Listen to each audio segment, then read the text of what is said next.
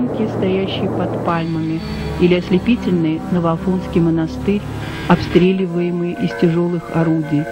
Любая война абсурдна, но, кажется, война в Абхазии абсурдна вдвойне. Независимость и международное признание Грузия получила как дар свыше. Ей не пришлось вести изнурительную вооруженную борьбу за право быть свободной.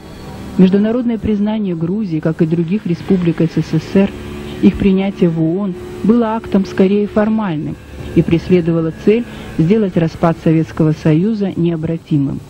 И никто из вершителей мировых судеб не обеспокоился тем, что Великая тоталитарная империя распалась на 15 полусуверенных государств, обремененных политическими, этническими, территориальными и иными проблемами, чреватыми вооруженными конфликтами и трагедиями миллионов людей. При крайне низком уровне политической культуры и полном отсутствии какого-либо демократического опыта у населения уже как бы было запрограммировано использование самых варварских и кровавых методов решения конфликтов. Это заранее предвидели многие, в особенности представители малочисленных народов, то есть наиболее уязвимых перед лицом катаклизмов.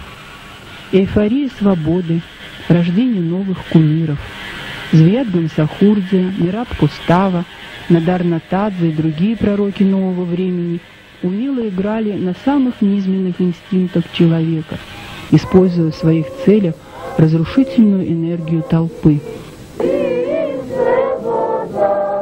Вы собрали до законного президента с народом выбравшего, который народ по паспорту 87% народ выбрал. Ни страдаем се за Звядагам Сахудрия, за народ, народот избранного президента, который для людей был, для грузинского народа светој, для всех народа мира светој човек он был. Он был для всех народа хороший человек. Я за этого меня не могу терпеть. За, за этого стояла вниз головой Москвы. Все это военная хунта делает. Через подкомандование Подкомандование все знают люди, которые Сигуа, которые Китомани, которые Шевардаты, что делают они. სადაც რუსეთი ცდილობს თავისი დიქტატისა და პირველობის შენარჩუნებას. Грузия стоит на грани реальной катастрофы, исчезновения. Первейший завет наших героических предков заключается в том, чтобы не отдать нашу землю чужеземцам на растерзание, чтобы мы не смешались с чужими нациями. Мы всячески должны стараться, чтобы процентный состав грузин в Грузии, ныне составляющий 61%, поднять до 95%. Грузия может потерпеть не более 5% гостей. Этот манифест биологического расизма был воспринят грузинами вполне спокойно. Не протестовали и международные организации, чья обязанность предупреждать проявление расизма, геноцида, ксенофобии. А представителям этих самых чужих наций приходилось просто уезжать из Грузии, бросая жилье и имущество. Инстинкт подсказывал им, что впереди ничто.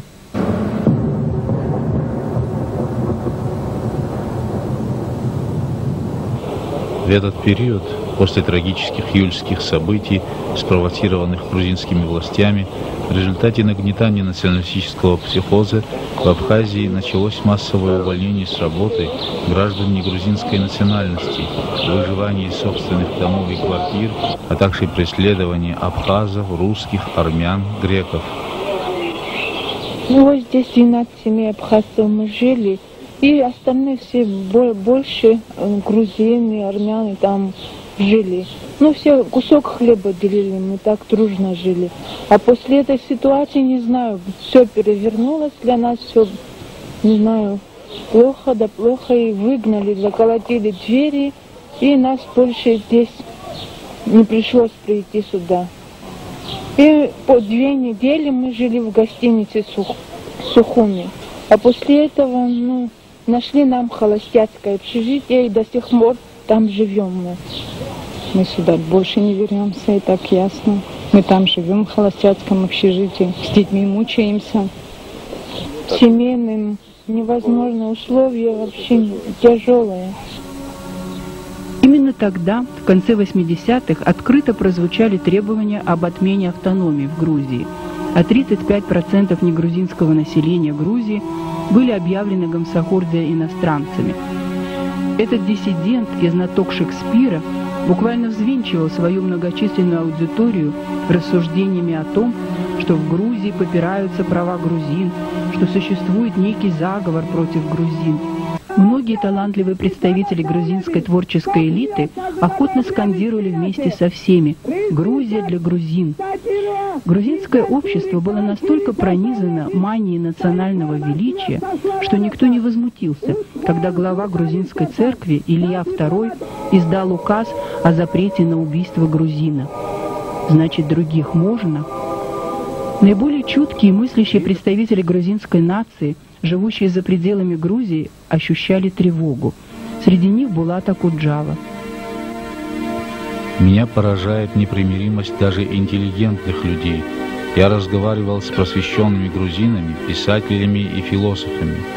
Все очень трезво все оценивают, но когда дело доходит до национального вопроса, только что они ругали русских за то, что те их давят, и тут же, когда заходит речь об абхазах, глаза тускнеют.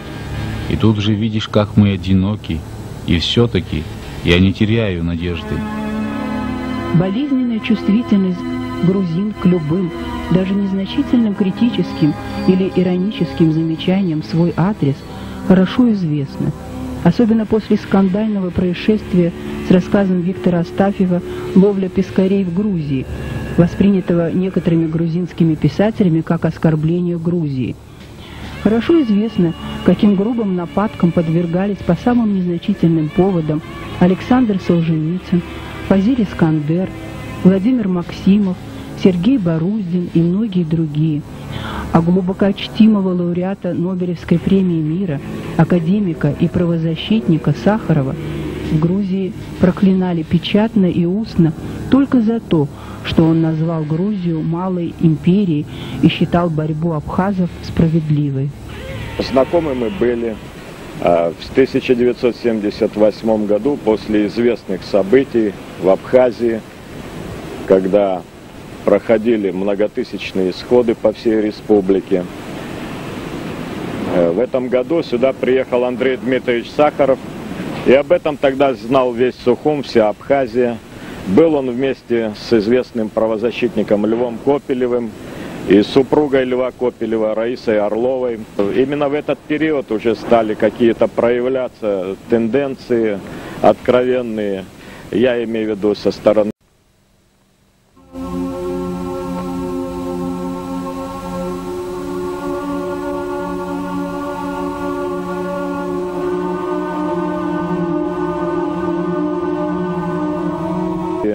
Уже другая наша встреча произошла уже после его Горьковской ссылки. Это было в январе 1989 года в Москве, когда проходил первый съезд мемориала. Вы знаете об этой организации «Мемориал».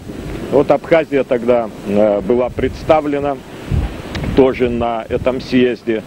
И в частности мне довелось там выступить, э, где председательствовал Андрей Дмитриевич Сахаров – это тоже нашло живой отклик в его сердце, так как он хорошо знал о том, что пережила Абхазия в годы репрессий. Он хорошо был осведомлен об абхазо-грузинских отношениях. И, кстати, во время этого съезда я передал ему абхазское письмо. Затем вам известный, известен отклик э, Сахарова на события э, в Абхазии, когда были первые столкновения в 15-16 июля 1989 года, когда он сказал, что мне ближе позиция абхазцев во всем этом вопросе. Вы помните также о том, что он э, очень много писал о Грузии, как о малой империи.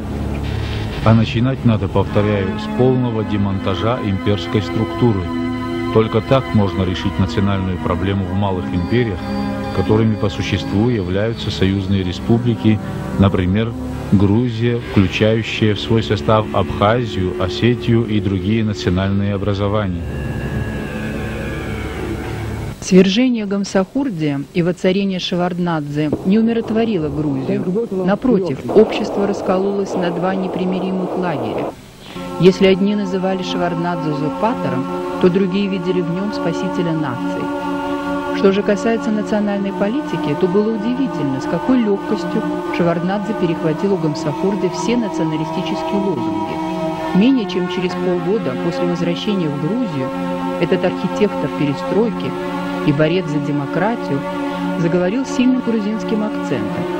Как и наши великие предки в борьбе за сохранение территориальной целостности нашего государства, мы ни перед чем не остановимся. Ради этого мы готовы погибнуть сами, но и уничтожить всякого, кто будет пытаться расчленить наше государство. Так говорил Шеварднадзе, выступая по грузинскому телевидению 15 августа 1992 года. Уже пролилась кровь Западной Грузии, последнем оплоте свергнутого президента. Карательные экспедиции Китавани и Осельяне должны были показать Менгрелам, кто хозяин Грузии. Зверство и бесчинство, совершенные против звеодистов, вызвали массовые акции неповиновения в Менгрелии. Грузия оказалась на пороге гражданской войны.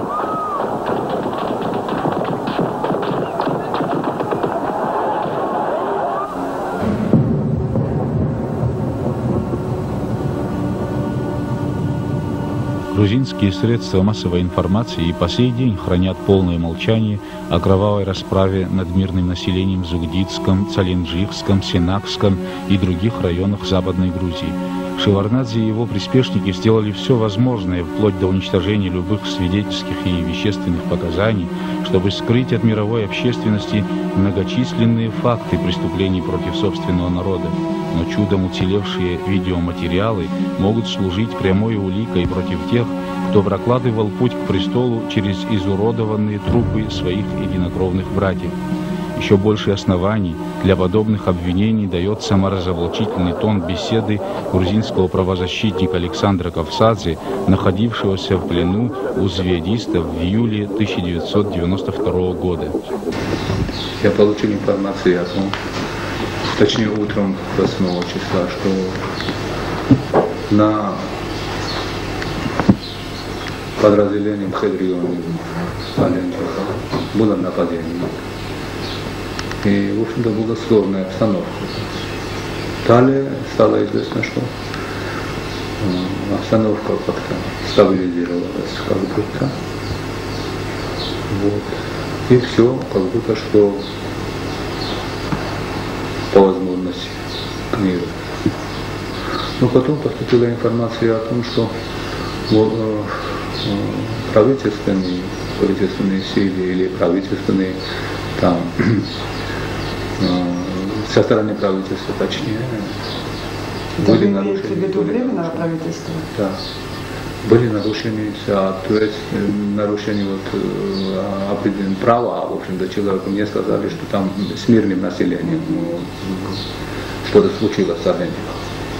Потом переправили, позвонил в районах, уточнил, как там в, этом, в этом регионе обстановка, и мне сказали, что обстановка очень сложная, с население значит, э, недовольно мероприятиями, которые проводятся со стороны, проводятся со стороны правительства.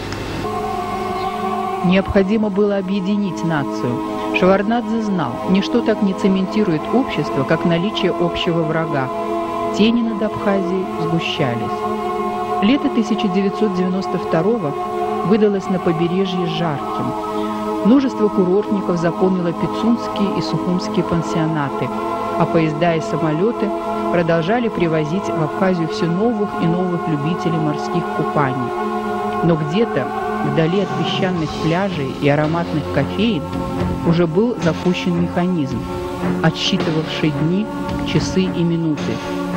Политики и военные, склонившись над картами, уже обсуждали планы Блицкрига во славу неделимой и независимой Грузии. Уже состоялась встреча Ельцина и Шеварднадзе в Дагомысе, близ Сочи, и грузинам было передано значительное количество вооружений.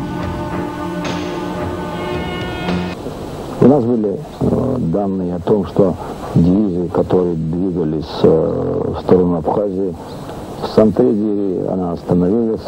Некоторые советники предложили одним махом закончить с двумя автономиями. И Саджари с Абхазией. И Саджари с Абхазией. Об этом очень открыто было сказано, что это было принято на Госсовете тогдашнем. 14 августа ворвалось в жизнь каждого жителя Абхазии и поделило ее на две части – до и после войны. Войны жестокой, не признающей никаких правил и снисхождения. Оккупация, изгнание мирных граждан, слезы детей и стариков. Хотя вряд ли бывают войны, которые ведутся по правилам.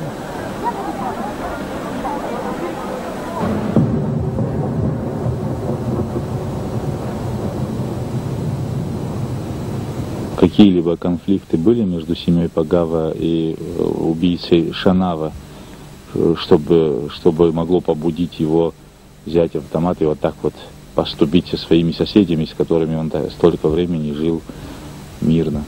А он был ярый националист, этот Гурам, и отец защищал свою нацию, как любой человек. И у них на этой почве он его несколько раз пытался убить, приходил в дом с автоматом, но соседи не дали. Вот. И потом отец уехал после того, как его взяли в заложники, сильно избили. Отец отсюда уехал, а может быть он из мести, не знаю почему, но Рудика ему не за что было убивать. У него были две дочки, ровесницы тем двум маленьким девочкам Рудиковым, они одногодки были. Вот. И Жанна, бедная, она и нянчила этих детей, и свадьбы вместе, и похороны вместе – ну, в общем, жили как, как одна семья, как вот до войны все жили. И это, в общем-то, было страшным ударом, что именно сосед такой близкий убил. Рудик с Эдиком находились в этой комнате. Э, мать и старшая девочка Жанна укладывали вот здесь в спальне детей. Они сидели, Рудик на печке, Эдик сидел вот тут на швейной машинке. Постучали в дверь, Рудик спросил, кто там. Ему ответил Гурам, голос знакомый, поэтому он, не боясь, открыл дверь и в это время у него автоматная очередь. Он быстро захлопнул дверь и столкнул Эдика за машинку. А сам стал держать дверь, но у него сил не хватило, он раненый. Дверь открыли, и он стал пятиться к спальне и закрывать спальню спиной и просить, не убивайте моих детей. Они дошли, один остался в дверях, а второй, он был в капюшоне плащ-палатки, и поэтому он не видел Эдика, у него бокового зрения не было. Он добил Рудика, зашел в спальню и он увидел Жанну, как Жанна с ребенком убегала. Он поэтому, может, не убил, не добил, просто выстрелил Валю, мать, а она накрыла собой старшую девочку из маленьких. Вот. И они выстрелили в Валю, и сразу вот так вот он повернулся и ушел, не увидел Эдика. И погнался за Жанной. Стал кричать, Жанна, стой, убью ребенка. Она остановилась, плакала, шла бедная, говорит, не убивайте, я вас прошу, Гурам не убивайте.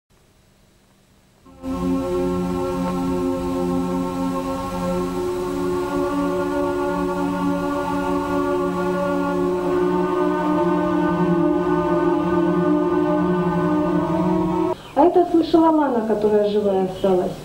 Вот. И они завели их в этот дом, вот на этом месте была убита Тея, вот на стенке пробоины замазали. И на раме осталась пробоина, это вот была младшая убита. А вот тут стояла кровать, на ней была убита старшая девочка. Не может не потрясать искренний рассказ этой молодой русской женщины, невестки Рудика Пагава, скромного чемчирского труженика, убитого вместе с женой Валей и малолетними дочерьми только за то, что они абхазы. Особенно тяжело от того, что совершили это зло не те, кто вторгся в Абхазию на танках из-за Ингура, а ближайшие соседи. В конечном счете сами палачи являются жертвами оголтелого шовинизма, который насаждается официальным Тбилиси. Алексей Георгиевич, вспомните, пожалуйста, вот тот случай, который произошел с вами, когда здесь находились грузинские войска. Как это случилось? При каких обстоятельствах все это происходило? Это было, значит, под Новый год, 40, с 92 на 93. Числа 26-27, так, декабря 92 года. Ну, я лежал и читал книгу. Смотрю, двери ломают. Пришли четыре человека, четыре автоматчика с автоматами, но это я потом заметил, конечно. Смотрю, ломают двери, бьют, стукают и бьют. Меня не визивали. Я побежал в следующую комнату, я оттуда кричу соседу Отари. Я говорю, Отари, Отари. Крикнул. А он в это время автоматом побежал туда. А ну, говорит, перестань кричать, а то я тебе сейчас пристрелю. Лучше открывать второй, вторые двери. а то и цепь поломаем. Ну, думаю, невыходное положение. Я взял и открыл. Открыл, заходят. Один схватил меня и сразу повалил и начал вроде душить туда-сюда. А теперь, говорю, давай золото. Я говорю, золота мне нету, пожалуйста, ищите. Я говорю, если найдете, что хотите со мной делайте, пожалуйста. Они начали, правда, искать. Да. Искали, ничего не нашли. Ну вот видишь, говорю, у тебя, говорю, зубы, у тебя протез золотой мне били три зуба. Вот я, говорю, сейчас вырву. Вот. И взял плоскогубцы и начал, это хочет мне вырвать. Я говорю, что вы делаете? Я говорю, мне я говорю, больно, я говорю, я говорю, в крайнем случае, я говорю, оцените, я говорю, завтра у брата или у знакомых, у кого-нибудь, я говорю, займу деньги, да дам. Через неделю приходят. Я обещал нам за зови золото. Давай. А я мне так ударили здесь, Бог так сильно болел, я никуда не ходил, я дома сидел все время. Вообще, если знал бы, что они придут, я самом деле занял бы деньги, да принес бы где-нибудь. Ну вот, значит, я говорю, я говорю, вот так я им объяснил тоже. Да, он взял тогда автоматом сюда, в эту сторону ударил, раз, второй сюда ударил. А вот этот, который третий, который впереди стоял, он прямо пустил автомат, и вот, смотрите, вот здесь автоматом ударил вот сюда.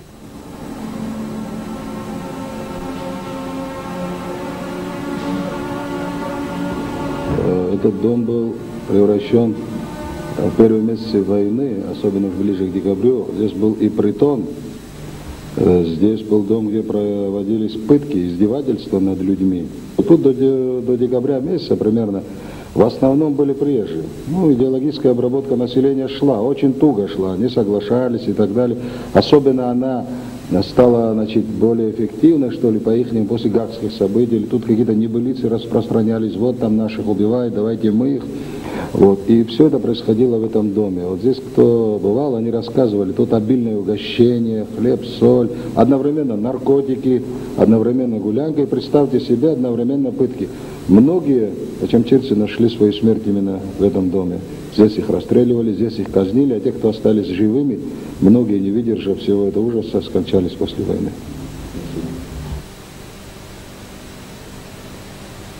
Вам известны хоть какие-то обстоятельства гибели вашего брата? Его выманили из дома, позвонили и выманили. Он вышел, они начали его провоцировать значит, на неприятные на какие-то там поступки. Он возмущенный поднялся в комендатуру и выразил свое возмущение, как будто бы у власти он искал какую-то какую-то защиту, что ли, гражданского населения. Это, конечно, было абсурдом. Он выразил там свое возмущение, спустился на глазах стольких людей, схватили его, закинули в машину и повезли в сторону Ахурея. Это были ахурейские сланы. Издевались они над ним очень. Несмотря на то, что комендант обещал его живым вытащить, они не смогли этого сделать или не хотели делать. К вечеру, очень поздно, они его привезли, но привезли изуродованного. По живому телу столько ранений, после того, как он был умерщвлен, они бы не стали делать. Это все было сделано по живому телу. На теле не было живого места, чтобы вот можно было сказать, вот, что тут вот чисто по живому телу ножевые, пулевые, автоматные, какие угодно ранения были на нем. Он истек кровью. Очевидцы рассказывают, что сердце вытащили, бросили на землю. Идет планомерное и целенаправленное уничтожение людей, окружений, культурной и природной среды. Нарушаются все пункты Всеобщей декларации прав человека. Разрушается государство. Каждый сотый абхазец убит. Каждый пятидесятый ранен.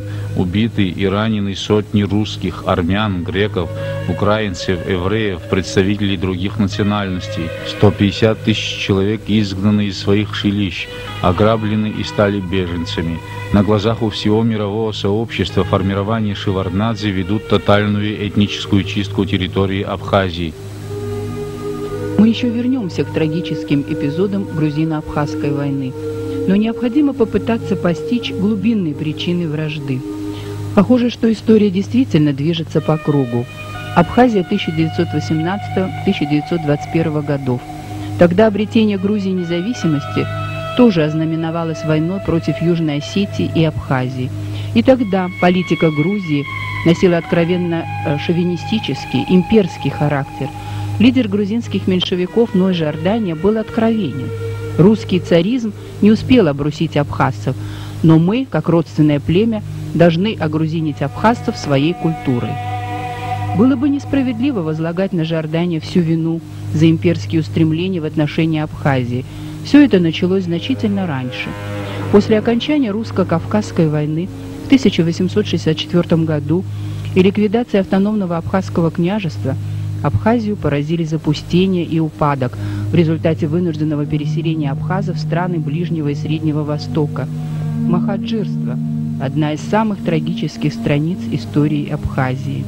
Программной следует считать статью видного грузинского публициста Якоба Гагибашвили «Кем заселить Абхазию», опубликованную в 1877 году в газете «Тифлисский вестник». Переселение это, без всякого сомнения, не временное, а безвозвратное. Абхазия никогда больше не увидит своих сыновей, пишет Гагибашвили. Было бы наивным искать в его рассуждениях сочувствие к изгнанникам-абхазам – в деловом тоне публицист рассуждает о том, каким грузинским племенем надо заселить Абхазию, и приходит к выводу – мингрелами. Теснота и недостаток земли в Мингреле, принуждающие ее жителей оставлять родину и отправляться в разные части Закавказья на заработки, без сомнения, делают весьма желательным для многих мингрельцев переселение в Абхазию, утверждает Гугибашвили. Его идеи и планы притворялись в жизнь на протяжении более чем века Сталиным, Берия, Шеварднадзе и другими.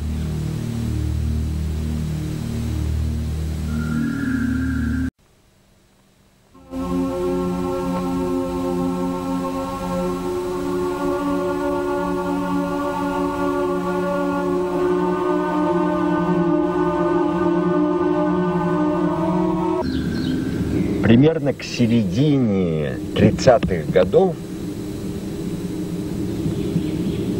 усилились проводимые не народом грузинским, а грузинской администрацией. Это нельзя путать, потому что это очень важно. Грузинской администрацией э, грузинизации Абхазии. В чем она сказалась? Первым делом, ну там были эти политические процессы, которые полностью э, покончили с абхазской интеллигенцией. Это вроде московских процессов, но на местном да. уровне. Конечно, то же самое творилось и в Тбилиси, и в Грузии делать. Это было уничтожение интеллигенции, но тут еще был элемент э, национализма. По-моему, в 1939 году, если я не ошибаюсь, абхазский шрифт, основанный на латыни, был переведен на грузинский шрифт. Стали усиливаться псевдонаучные теории о том, что Абхазия, абхазцы и грузины – это одна и та же нация, не надо, так сказать, их различать. И на этом основании, в конце концов, в 1945-1946 году были закрыты абхазские школы. Это был колоссальный удар по национальному самосознанию, потому что языки совершенно разные, ничего общего не имеют. И, конечно, э, это оставило э, в душе народа какой-то негативный след, ощущение э, второстепенности на собственной земле. Доля грузинского, а точнее мингрельского населения неуклонно росла за счет механического прироста. Строились в Абхазии заводы, фабрики, гидроэлектростанции, филиалы тбилисских вузов, кадры для них завозились исключительно из Грузии. Один лишь переезд Сухум из Кутаиси Грузинского института сутровического хозяйства увеличил грузинское население Абхазии на 40 тысяч человек.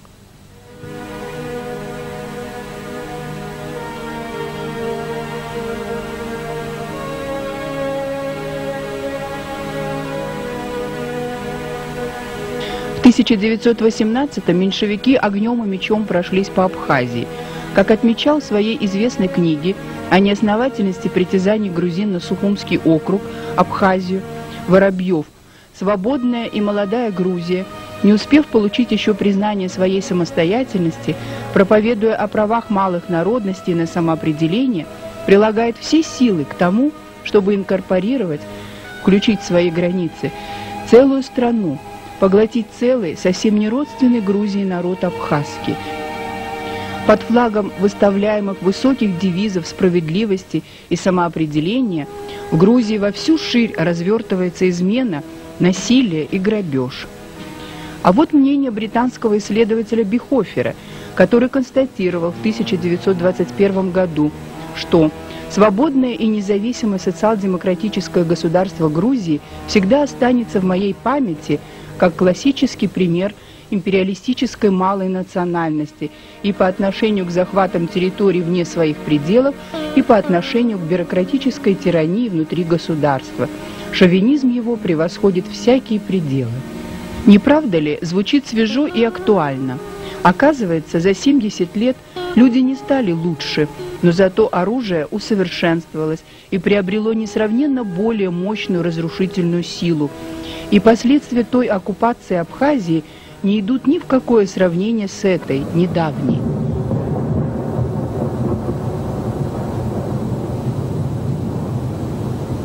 После вторжения в Абхазию Шеварднадзе давал самые фантастические обоснования этой акции. На самом деле, уже 11 августа в телевизионном обращении к населению Грузии он призвал к борьбе со злом и подчеркнул, что речь идет не о каком-то одном регионе республики, а о территории от Лиселидзе до Казбекского района. наступление против наших врагов, наступление против врагов и предателей Грузии, воинственно восклицал Белый Лис. Таким образом, это была заранее спланированная акция, направленная на аннексию Абхазии.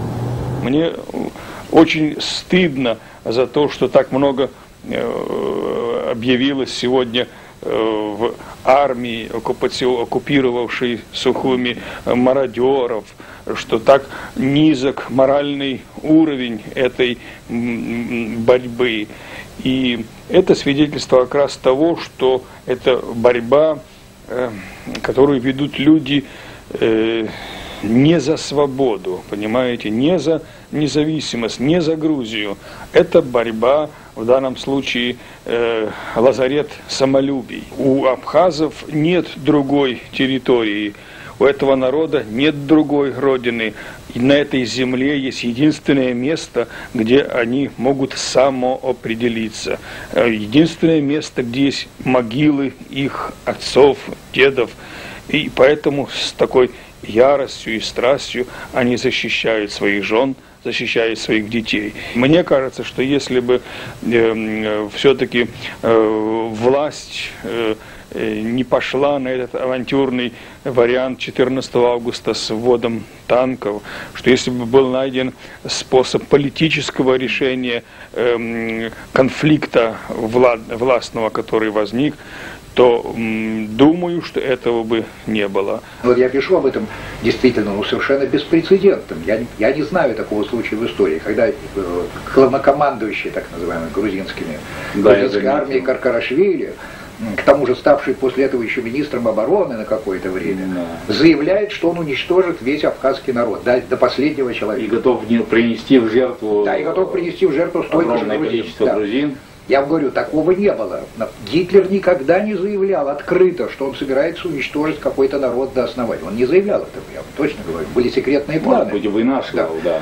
И такое заявление, вот с этой точки зрения, простите меня, так сказать, Запад изумил, которого не могло не дойти это высказывание, а он промолчал.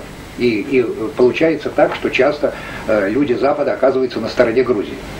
Я думаю, одного такого заявления достаточно, чтобы пересмотреть совершенно свою точку зрения и перестать поддерживать этот режим. То есть, если хотите, объявить вне закона, потому что я не слышал, что Шибарнадзе как-то отмежевался от Каркарашвили. А вот так выглядели бравые парни китования селяне, защитники территориальной целостности. Довольно видной фигурой у них был небезызвестный сухумский ракетир и наркоман Сосу Ахалая – Среди гвардейцев было на удивление много людей с садистскими наклонностями. Как ни странно, для своих чудовищных опытов и издевательств над невинными людьми они использовали дома творчества, санатории и школы. Уже после освобождения Сухума люди воочию убедились, что санаторий Закво был одним из мест казней и пыток. Жертвами палачей становились люди разных национальностей. Меня пригласили в полицейский участок. Значит, я прибыл вместе в сопровождении двух с автоматами в полицейский участок. В это время мне один из полицейских, который из комендатуры приехал, приставил вот сюда нож. Когда я сидел, прямо горло подставил нож. Я этот нож отвел рукой, в результате порезал палец, и он, видимо, себя поранил, а другой полицейский начал бить автоматом меня в спину. Просто за то, что вы каким-то образом связаны с Айбгылара? Э, э, Просто за то, что я был связан с Народным Союзом, и какие-то вот такие были связи. Насилие рождает насилие. Неудивительно, что каждое проявление бесчеловечности одной стороной ожесточает и другую сторону, пробуждая у нее ответную ненависть и желание убивать. Это прекрасно понимают и идеологи грузинской партии войны. Уже после окончания военных действий по грузинскому телевидению были показаны страшные документальные кадры. Беснующаяся толпа, состоявшая в основном из женщин, избивает, а затем живьем сжигает женщину. Голос за кадром комментировал, вот так абхазские сепаратисты поступали с грузинскими женщинами. Но многие беженцы из Ачимчира знали, что на видеозаписи запечатлена расправа над абхазской цацей Казан.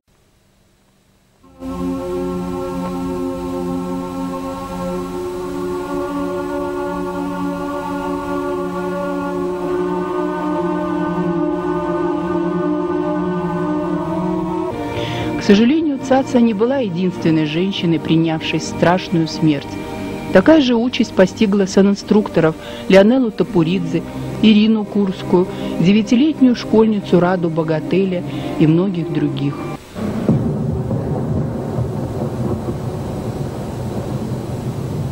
Одним из наиболее трагических моментов этой кровопролитной войны останется 14 декабря 1992 года, день, когда вся Абхазия буквально онемела от горя. Более 60 женщин и детей, пассажиров вертолета, совершавшего гуманитарный рейс Куарчалгу-Даута, сгорели заживо. Вертолет был сбит грузинскими боевиками над селом Лата – ни один грузинский политик или представитель творческой интеллигенции не нашел ни одного слова сочувствия или сострадания по этому поводу. На оккупированных грузинскими войсками территориях нарушения прав человека, массовые казни гражданского населения были повсеместным явлением.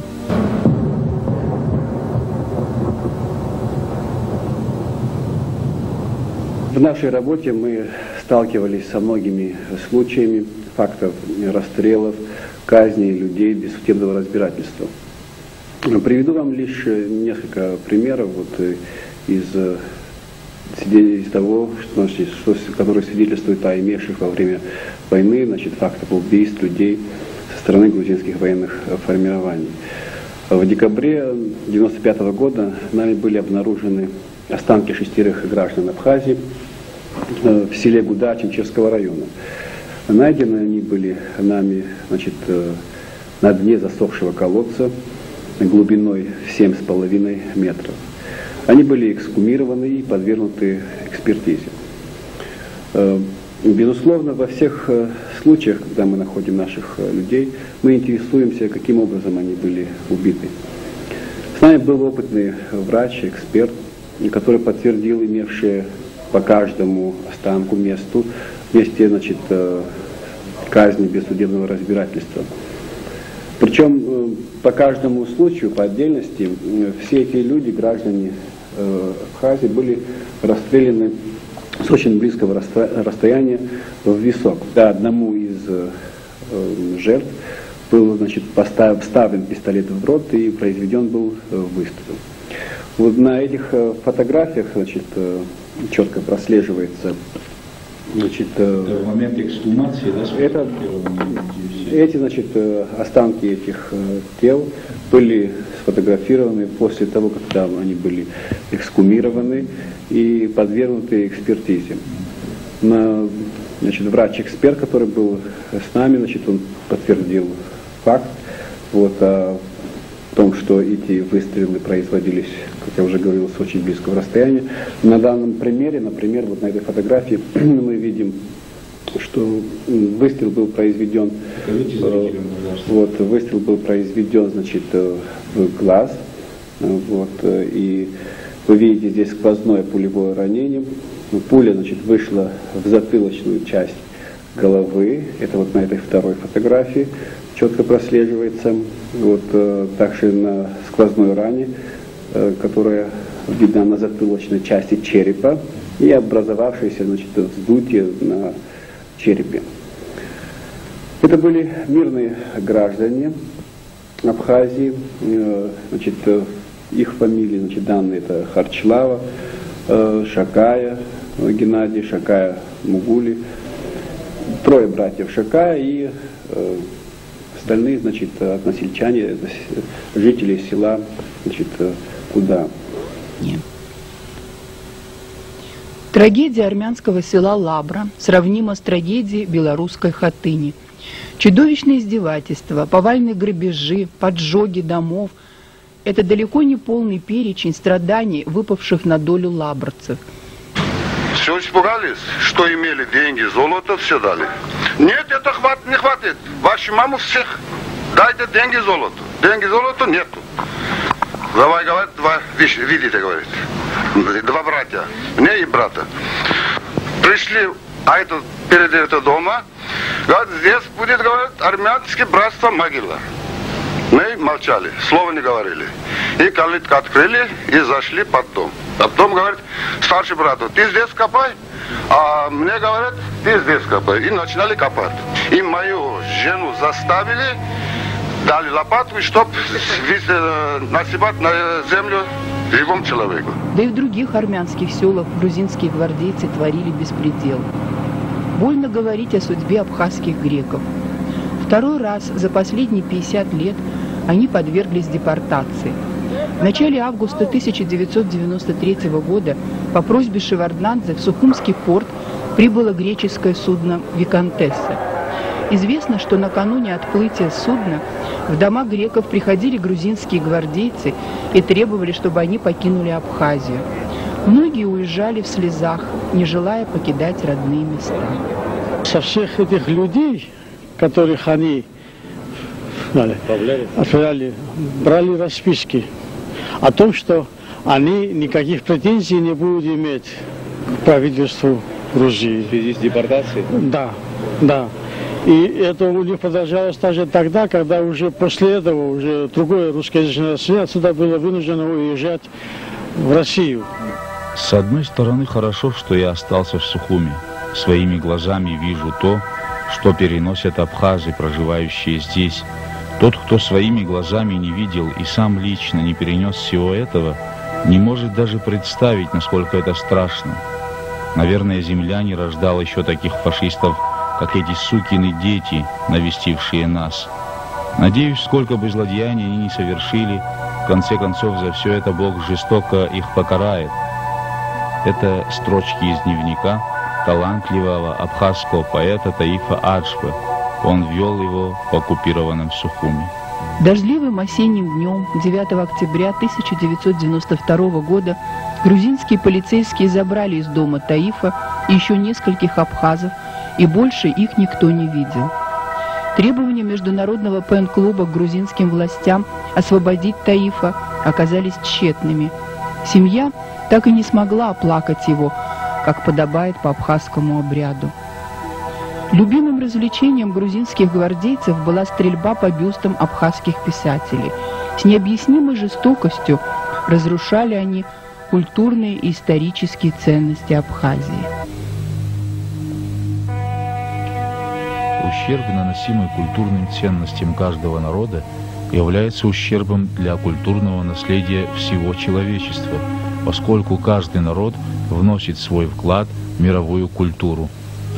Как ученый и директор Абхазского института языка, литературы и истории имени Дмитрия Иосифовича Гулия, я должен заявить, что разрушение и уничтожение памятников истории и культуры, сожжение книг и архивов предстает как крайнее варварство, как крайняя форма фашизма. Э, даже на фоне массовых преступлений против человечности и этнических чисток, осуществлявшихся в год войны грузинскими оккупационными войсками при самом активном участии э, вооруженных формирований, состоявших из числа э, местных грузин. Эти преступления, на мой взгляд, являются прямым продолжением национального, национально-культурного геноцида, которому подвергался сам абхазский народ, деятели его культуры, науки, э, и которому подвергался абхазский язык, э, его культура. Запрещалось, запрещалось преподавание абхазского языка, э, Сменилась вся топонимика Абхазии и производилось многое другое. Были в запрете даже сами, само слово э, абхаз, абхазец, Абхазия. Основная цель всего этого – лишить народ его исторической памяти, лишить э, самой культуры, создававшейся на протяжении многотысячелетней истории абхазского народа. И в этом Э, варвары конца 20 века превзошли даже деяния сталинско-бериевского режима.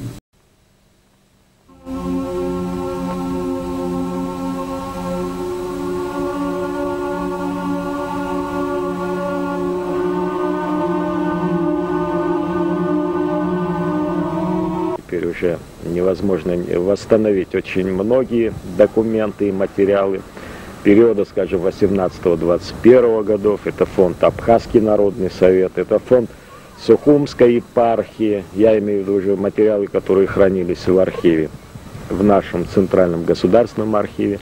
А то, что касается, конечно, архива в Абхазском институте, ну, об этом очень трудно и сложно говорить. Вы видите, в каком состоянии находится здание само, оно все, в общем, и выгорело, выгорело, и сгорело, в общем, полностью. Ну и вообще как-то, я думаю, это тоже памятник, что ли, той ненависти, которая была проявлена к абхазской культуре в целом. Скажите, пожалуйста, вы все, насколько я знаю, давно работаете в Абхазском государственном архиве. Как вы восприняли, а, оценили случившееся тогда еще? Первую минуту никто даже не мог э, осознать, что это действительно могли под, подожечь такое уникальное все-таки собрание архивных документов. Это было просто страшно.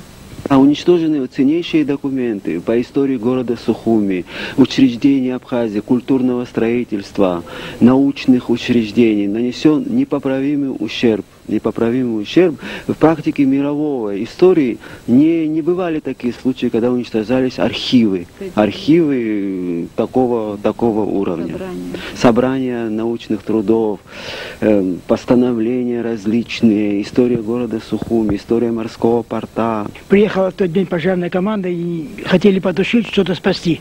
И ничего, ничего не удалось. Не дали. Не дали. Не дали. Все, что мы смогли показать, это лишь небольшая часть той хроники, которую удалось собрать по крупицам. И самое ужасное в этой преступной истории, вершителями которой являются грузинские политики и военачальники, неисчислимые человеческие жертвы. В мартирологе замученных значатся имена многих жителей города Гагра.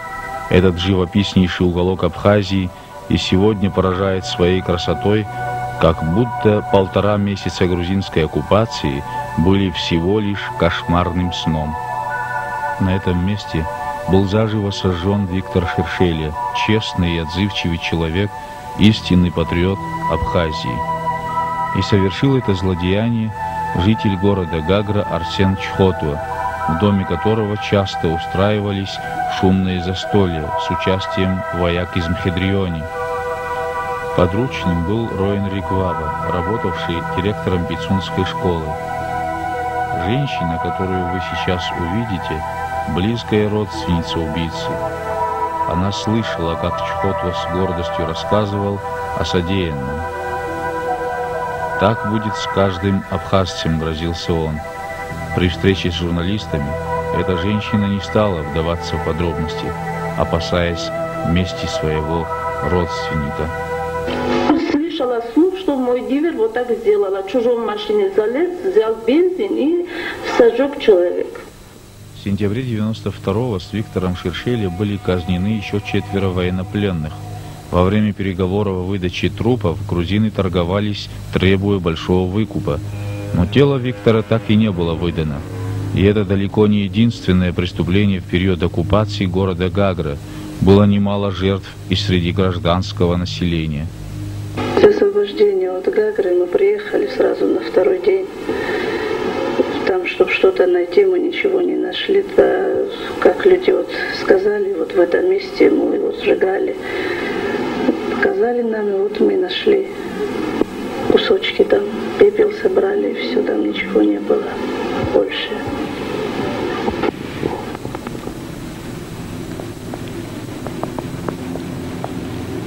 Уникальная абхазская природа и время лечат души людей, искалеченные войной. Но хватит ли у природы матери сил залечить раны, нанесенные ей человеческой агрессивностью и злобой? Всякая война, сколь мал, малая или локальная она не была бы, она всегда и представляет собой экологическую катастрофу. Что касается войны в Абхазии, она не составила исключения из этого правила. За короткий промежуток времени, на протяжении одного года, в природную среду Абхазии было сброшено э, тысячи тонн различных взрывчатых веществ в виде различных вооружений, начиная от авиабомб весом до 500 килограмм, артиллерийских снарядов э, различных систем, включая те, которые запрещены международными конвенциями. Это и игольчатые снаряды, и термические снаряды. Кроме того, кассетные авиабомбы. Э, огромное число мин различных э, назначений противопехотных, противотанковых, число которых по различным оценкам достигает свыше 100 тысяч на всех линиях фронтов Абхазии. В течение года звучала круглосуточная канонада. И это на территории, которая э, характеризуется чрезвычайной природной и экологическим э, разнообразием. Э, последствия и экологические последствия военных действий в Абхазии будут прослеживаться на протяжении очень длительного времени минные поля, которые э, так и остались э, после войны, они останутся на протяжении очень длительного времени, потому что никто не может сказать, э, сколь долго в наших климатических условиях э, эти мины будут оставаться в боевом состоянии. Э, кроме того, наши реки, э, которые характеризуются особой чистотой воды и в которых формируется основное стадо черноморского лосося в Черноморском бассейне, Э, в той или иной степени и во время войны, и после военный период подверглись серьезным воздействиям. Э, Все это в целом можно было бы квалифицировать одним словом и определить одним словом – экоцид –